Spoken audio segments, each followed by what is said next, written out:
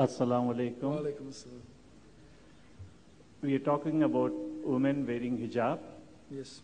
That's very nice. But nowadays we see men tight jeans, clothes which even men dare not see the other men. Do we have something you like to say for the women, for the men folk that not put only the women in hijab, Yes. but we have certain morals to follow for the society. That's true. Jazakallah khair. Barakallah. Alhamdulillah. But the talk, you have to understand, the talk was not, uh, you know, how men should behave in Islam. As usual, you know, the talk is always about women in Islam. And I'm the first person to say that we need many talks on teaching men how to behave, especially to their wives. Uh, I'm not the, I'm the first person to admit that.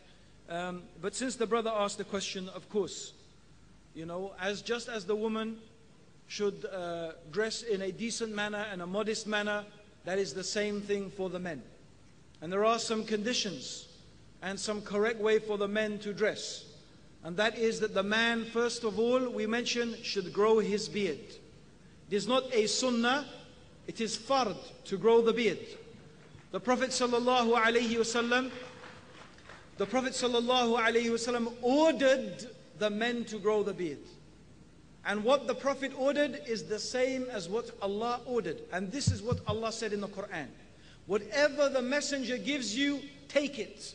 And whatever he orders you to leave, leave it. And the Prophet wasallam said, what I tell you to do is like what Allah tells you to do. There's no difference because the Prophet did not speak from his mind. He didn't invent it. When the Prophet ordered us something from the religion, it's because Jibreel came to him and told him that this is from the religion.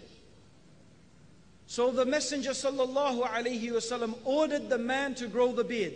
Shaving the beard is part of imitating the women. It's effeminate. The first people to do it were the people of Lut. And you know who they were. Yes. So growing the beard is part of the dress of the man. Also, the man should cover himself from his navel to his knee. And the clothing should not show his shape of his body. This is what is obligatory for the man to from the navel to the knee, and his garment should not trail below his ankle.